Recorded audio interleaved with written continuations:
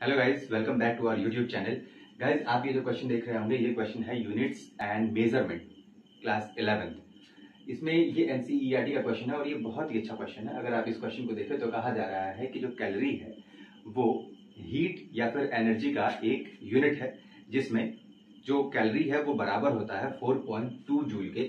यहाँ पर आपको गिवन है। ठीक है? यहाँ पर। अब इसके बाद से ये कहा जा रहा है कि one joule is equal to one K G metre square पर सेकेंड स्क्वायर ठीक है? फिर कहा जा रहा है कि आप मानिए कि एक यूनिट को दूसरे यूनिट में अगर बदला जा रहा है ऐसे समय में, जो बाद में बदली गई यूनिट है, उसमें जो मास है वो अल्फ़ा के जी के बराबर है, इसी के साथ जो लेंथ है वो बीटा मीटर के बराबर है, और इसी के साथ जो टाइम है वो गामा सेकंड के बराबर है।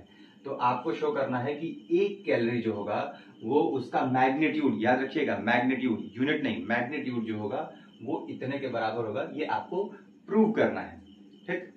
तो हम गाइस जानते होंगे कि किसी भी एक यूनिट को, और अगर किसी भी एक फ़िज़िकल क्वांटिटी को हमें लिखना होगा तो हम फ़िज़िकल क्वांटिटी को क्या लिखेंगे? एन वन यू वन यानी कि मैग्नीट्यूड एंड यूनिट अगर इसको हम कन्वर्ट करें किसी दूसरे में तो वो दूसरा मैग्नीट्यूड और दूसरा यूनिट आ जाएगा।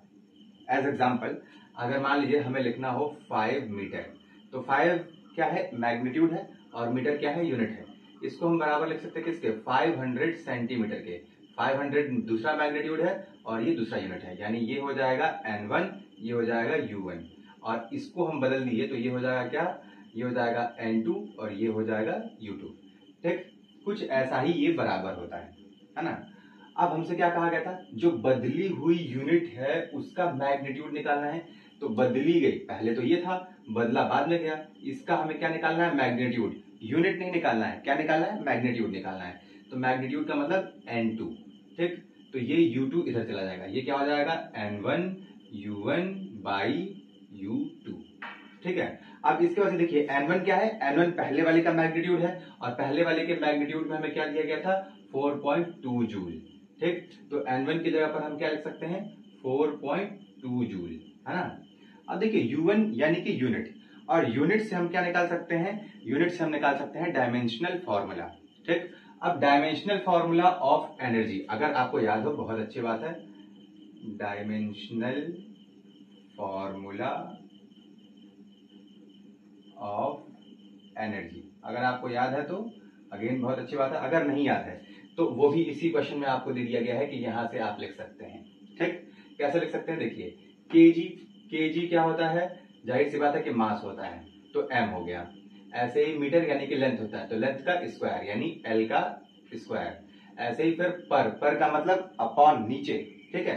फिर सेकंड यानी कि टाइम टाइम नीचे है टाइम का स्क्वायर भी नीचे है। नीचे से ऊपर जाएगा तो क्या हो जाएगा? टी पर पावर माइनस टू अगर आपको ये याद है तो अच्छी बात, नहीं तो आप इस यूनिट से निकाल सकते हैं। ठीक? अब आप देखिए, यहीं पे एक टेबल बना लेंगे कि अगर पहले यूनिट थी तो पहले क्या था? हम मान लें कि जो पहले मास था, वो क्या था? M1 था। बाद में यही मास चेंज होने के बाद से m2 हो गया। फिर लेंथ पहले L1 था चेंज होने के बाद से L2 हो गया। पहले टाइम T1 था, बाद में चेंज होने के बाद से टाइम T2 हो गया। ठीक है? अब देखिए, यहाँ पे one joule is equal to one K G one metre square one पर वन सेकेंड स्क्वायर है है ना? यानी पहले m1 क्या था? वन लेंथ क्या था? वन मीटर टाइम क्या था? वन सेकेंड ठीक? लेकिन M2 M2 कहा गया कि अल्फ़ा है, कहा दिया गया है? देखिए अल्फ़ा के लिए। फिर उसके बाद से लेंथ जो था, ये क्या था? बीटा फिर टाइम जो था, वो गामा सारी चीज़ें दी गई हैं। देखो लेंथ बीटा था, फिर टाइम क्या था? गामा था। ठीक? बस अब यही वैल्यू आपको रख देना है। ठीक? अब देखो।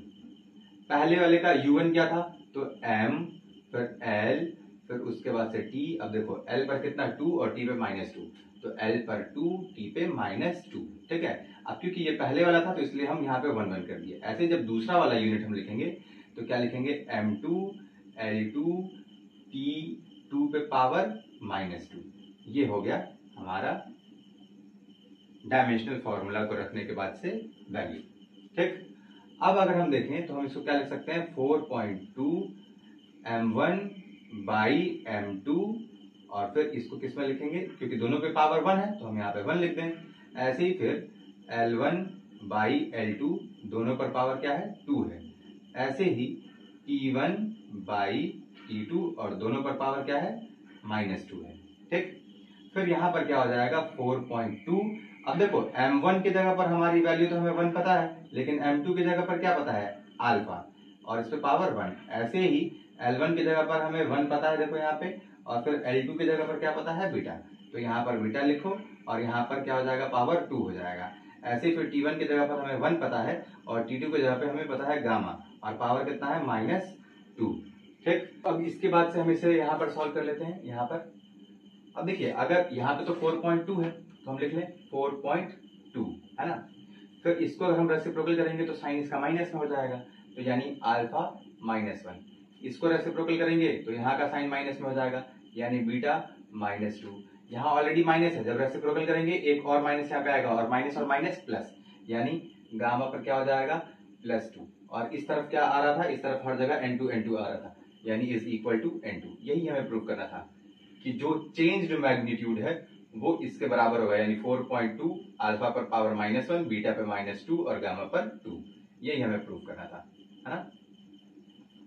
तो उम्मीद है गाइज़ कि आपको ये सॉल्यूशन समझ में आया होगा। अगर आपको ये सॉल्यूशन समझ में आया तो वीडियो को लाइक करना ना भूलिएगा चैनल को सब्सक्राइब करना ना भूलिएगा और कमेंट करके बताना ना भूलिएगा कि क्या आपको ये वीडियो पसंद आया या नहीं। अगर आपका कोई क्वेश्चन है तो हमें लिख भेजिए कमेंट बॉक्स में।